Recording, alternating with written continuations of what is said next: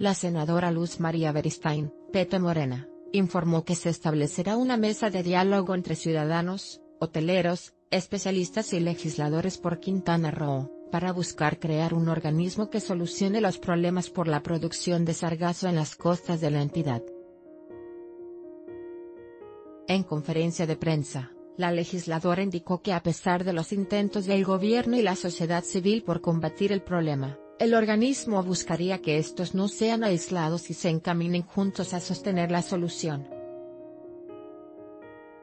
La instalación de la mesa de diálogo permanente iniciará el próximo 10 de agosto y están convocados legisladores en funciones electos, así como los próximos secretarios de Medio Ambiente y Recursos Naturales, Josefa González Ortiz Mena, y de Turismo, Miguel Torruco Márquez. Estamos muy preocupados, porque Quintana Roo vive del turismo y le aporta muchos recursos a la Bolsa Federal, anualmente arriban un promedio de 21 millones de turistas a nuestro estado nosotros somos una parte importante para la federación en lo que a recursos se refiere, indicó la senadora. Este lunes, Torruco sostuvo que el arribo masivo de sargazo a las playas de Quintana Roo ya es una emergencia nacional, ya que genera un impacto importante en la industria turística del Caribe mexicano. El sargazo es una mega alga que el mar arroja a las costas, y aunque no provoca daños a la salud ni impide el acceso al mar, su llegada en grandes cantidades provoca una plasta café en las playas que roba su aspecto paradisíaco.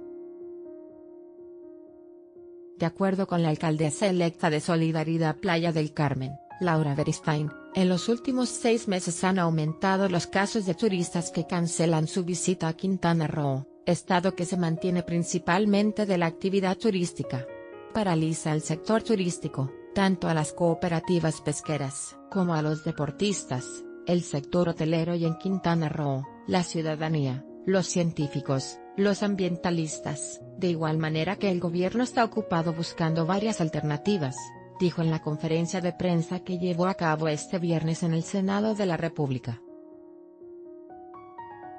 La legisladora Beristain también acusó al presidente municipal de Cancún, Renberto Estrada, de querer privatizar Playa Marlín, uno de los únicos accesos que tienen los pobladores a la Riviera Maya.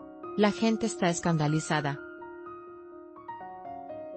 Adolecemos los espacios públicos, estoy hablando de Cancún, hay 27 kilómetros de franja de litoral de playas en Quintana Roo y de esas son tres o cuatro espacios de acceso al público y son accesos que no son dignos, sostuvo.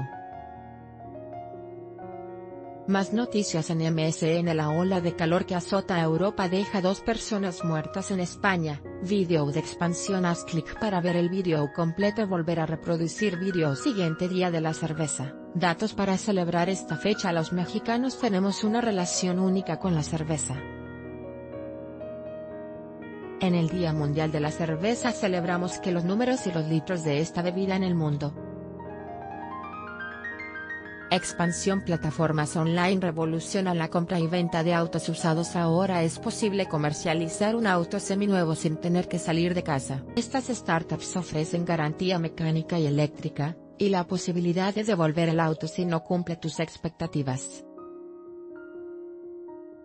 Expansión Donald Trump recibe y agradece la nueva carta de Kim Jong-un El presidente de Estados Unidos hizo referencia a la carta del mandatario de Corea del Norte en uno de sus tweets. También agradeció la repatriación de los restos de soldados estadounidenses.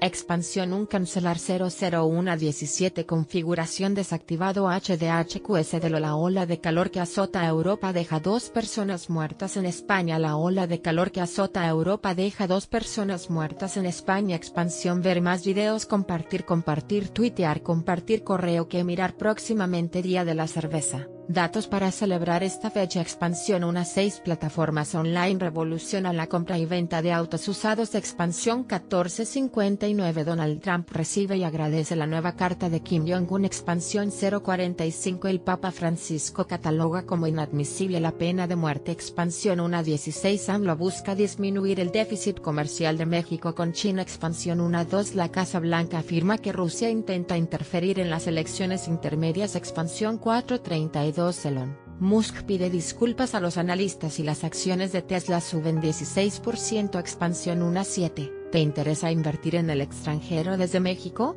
Expansión 042 Apple es la primera empresa pública de EU en valer un billón de dólares. Expansión 1.11 El corredor transísmico de López Obrador puede tomar décadas. Expansión 1 así afecta decisión de AMLO al personal de confianza. Expansión 055 WhatsApp comienza a cobrarle a empresas que lo usen para atención al cliente. Expansión 052 Las cajas negras del avión de Aeroméxico se encuentran en perfecto estado. Expansión 1.6 El narco le pone precio a la cabeza de sombra, la perra antidrogas de Colombia Expansión 24 pasajera del avión de Aeroméxico destaca la solidaridad entre los viajeros Expansión 338 factores que contribuyeron a que no hubiera decesos en el accidente aéreo Expansión 222